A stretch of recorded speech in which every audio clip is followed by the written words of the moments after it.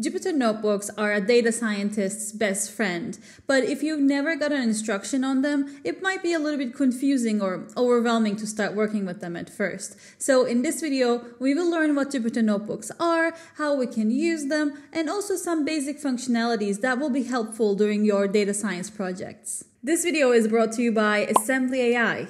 AssemblyAI is a company that is making a state of the art speech to text API using deep learning technologies. If you want to go and try it out yourself, you can get a free API token using the link in the description. All right, let's get started. So, in front of me is what we call a Jupyter notebook. So in this notebook, there are a, a, bunch of building blocks. I will walk you through all of them, show you how everything works, and also mention some of the critical settings. So uh, what we call the, the main building block of Jupyter Notebooks is a cell. So this is a cell. I can write anything I want in this cell. I can even say, you know, 3 plus 5 and then it will calculate it. In that way, it kind of works like a uh, normal Python uh, function, right? Um, or I can create a variable, I can create another variable, and I can sum these variables up and then it will tell me what it is. Uh, what I'm doing to run these cells is shift enter. So when you press shift enter, it runs that cell. Um, one thing that you might want to pay attention here is that uh, every time I run a cell, only that code in the cell is run. So uh, you might remember if you ever used or uh, written Python code, if you write a, write a Python script and you run it, the whole script is run from beginning to end. And this is the main difference Jupyter Notebooks have, and the main reason that data scientists use Jupyter Notebooks is because whatever you write in a cell, that's the only thing you run when you just run one cell. The whole notebook is not run. And also, you can change the uh, sequence of how things run. So you can run the first cell, you can go ahead and run the fifth cell, and so on and so forth. So this flexibility is something that is really helpful for data scientists when they're doing their work. As I said, you're basically writing normal Python code. You know, we can create, we can do some mathematical functions uh, or calculations. We can create variables. We can uh, do calculations on them, or we can just use normal Python uh, code let's write a classic hello world for example and then it will print it for you. Uh, so basically all everything you can do in python you can do here and some extra things that i will show you in a second. Um, let's walk through the structure. I'll show you what everything means. So you might realize that uh, sometimes there is a green highlight on a cell but sometimes there's a blue highlight on a cell. So what they, these mean is if you have a blue highlight, it means that this cell is selected, but you are not yet in editing mode of the cell. So if I type something, you know, it's it's starting to go into the find and replace mode. But that's not what I want. If I want to change something, I click it again, then it goes into the green mode, which is the editing mode. Then you can edit things. Then you can edit the cell that you have. Uh, you see some numbers next to it. We have the input, which is the cell, and we have the output of the cell right below it. Uh, these numbers tell you when you ran this first. So apparently I ran this third, the cell third, and then after that I ran this one, and then I did some other things, and then sixth I ran this one, and then eighth I ran this one, ninth I ran this one. This tells you when you ran something, and it is helpful because, as I said, you can run the fifth cell and the first and the third and then the fifth after another, and this tells you when you ran. Uh, what cell you ran in which order so that if there is something dependent on this cell that affects the output of the eighth one, then you know, oh, I need to run this again before I run this one because if it affects the output of that one. All right, so let's look at some of the settings that we have. Uh, for the file section of the settings, it's classic, you know, you can save it as something, this file as something else, you can rename it, etc., etc., make a copy. But one important thing is that you can download this notebook as a bunch of different things. Mainly, you will probably need to download it as a Python file if, uh, you know, maybe you're doing some experimentation on a notebook or you're building some sort of code because you're more comfortable with the uh, Jupyter notebook.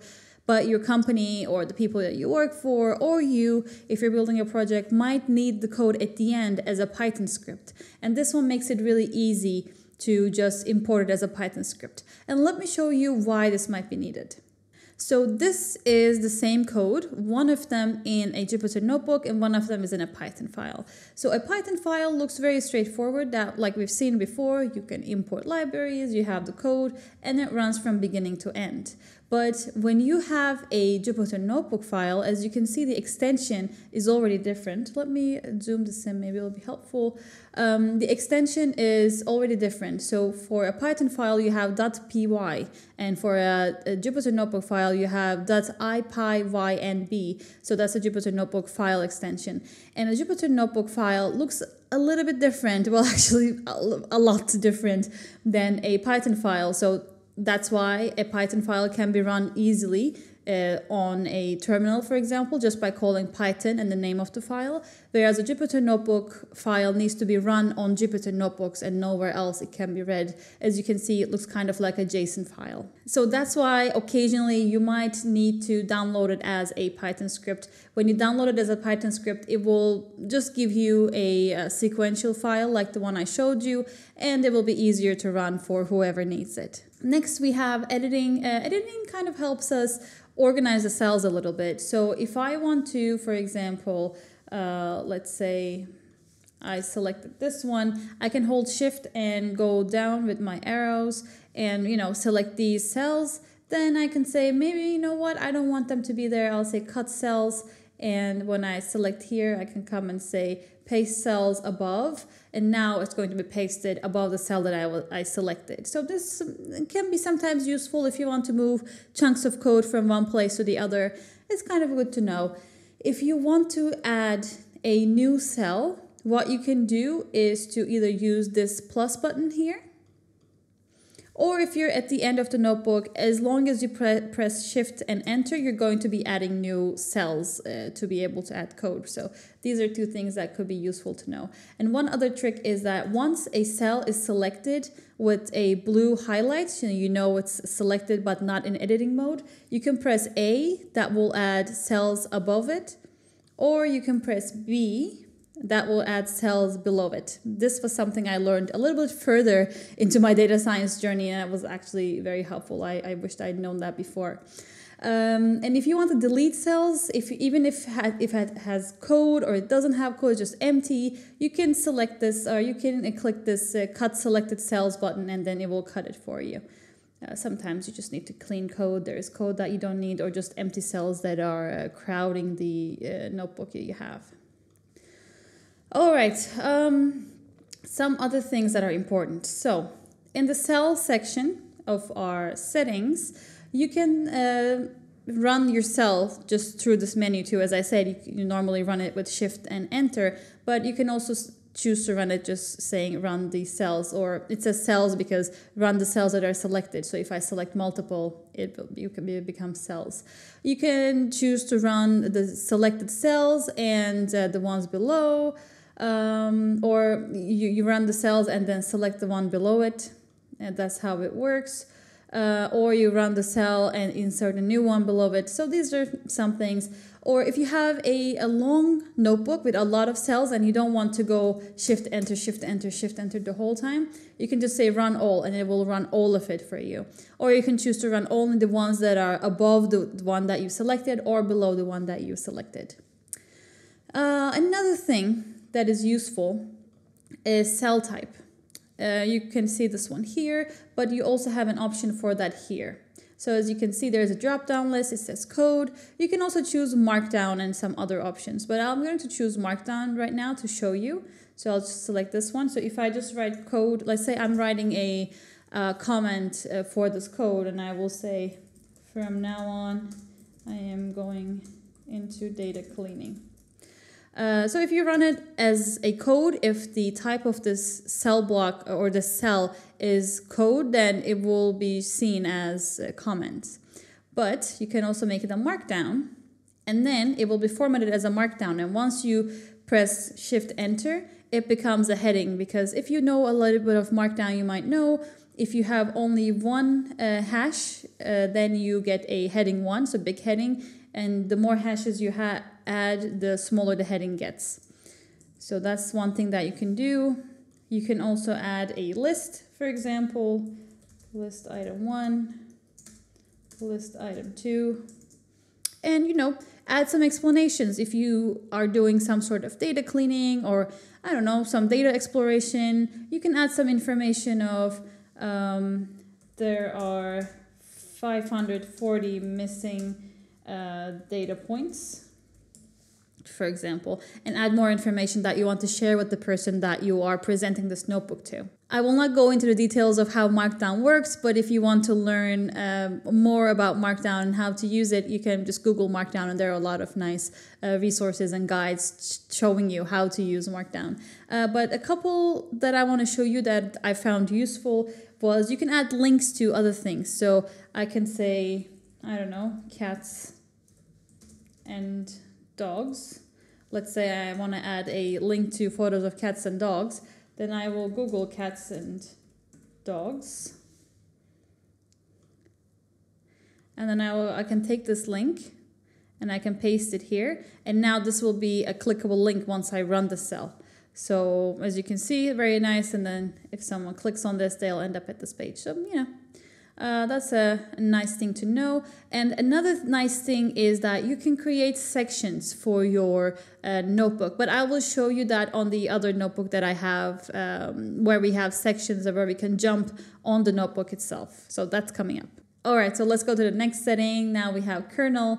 Uh, kernel is the thing that your Jupyter notebook is running on. You might have a bunch of different kernels, and each of these kernels can have a different um, set of libraries that is already installed in them, a, couple, a set of different settings that is uh, already set on them. So based on what you want, you might choose a different uh, kernel. So right now I only have a Python 3 kernel and a virtual environment kernel that I set. And in the virtual environment kernel, I have my deep learning libraries installed, whereas for my Python 3 or inside my Python 3 kernel, I only have normal data science libraries uh, installed like pandas and scikit-learn, etc.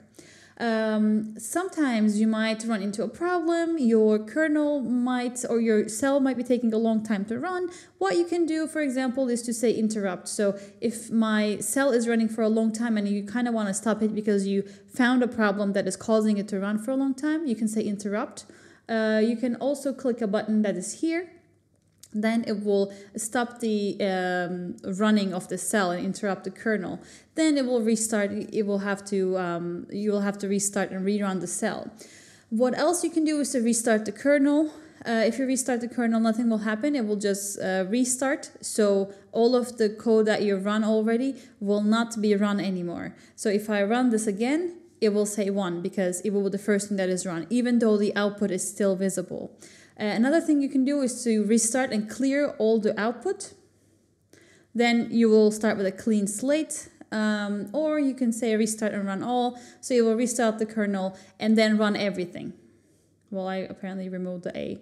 Uh, all right, you can shut it down, you can reconnect. So basically, those are kind of things that are giving you the chance to restart the the kernel that this notebook is running on in case you run into a problem or something is running for a very long time. And finally, in this section, I already showed you uh, some of the things, but you know, these are kind of easily navigating from one place to the other. If you want to carry one of your cells, you can carry it above or below.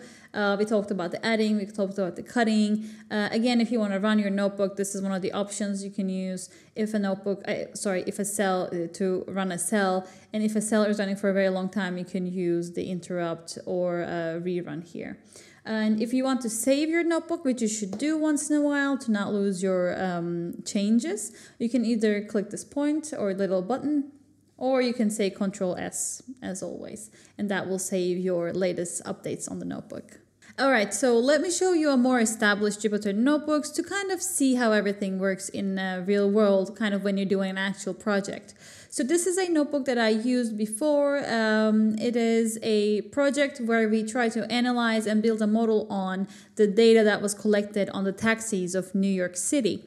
Um, so a bunch of things that I want to show you. First here is, as I mentioned, uh, you can create clickable links that will send you to different sections of your notebook. So you can see here I have a table of contents and if I click one of them, it will send me to the relevant section immediately. And if I click back to top, it will send me back to table of contents. So how we do that is basically very similar to uh, how we did the uh, clickable links, the URLs. You basically do the same thing like that you did with the URL, uh, with the brackets, but then you add the ID of the section that you want to go to with a hash at the beginning. And how you create the ID of a section is by doing this. You basically assign an ID to it. So I do that also for the sections then I, you know, add them an ID. So for the first one, I add the ID imports. So then if I run this and I run that, then I click the import library section, it will immediately send me to this one. And for going back to top, I um, link it back to the table of contents section. But apart from all the structuring and everything, basically Jupyter Notebooks are any other Python script. The only difference, as I said, is that you can run your code in different chunks. So, you know, you can import your libraries here, you can um, import your data set, you can visualize your data set using pandas, and it is actually very easy to uh, visualize data sets, especially when you read it in a pandas data frame.